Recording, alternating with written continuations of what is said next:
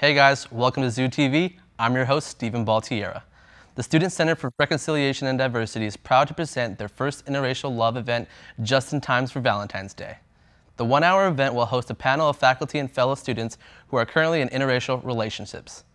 The panel will discuss a variety of topics involving interracial couples.